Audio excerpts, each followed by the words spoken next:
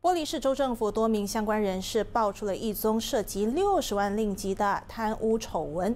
六名男子包括玻璃市州务大臣穆哈默苏克里的儿子，因为卷入伪造文书和虚假申报案而遭到反贪污委员会传召录供。这六名介于二十六岁到三十七岁的嫌犯，今早被押往嘉央法庭延扣两天，以协助调查。除了大臣的儿子外，其他涉及者也包括。波州大臣办公室和州政府秘书署任职的两名公务员以及承包商。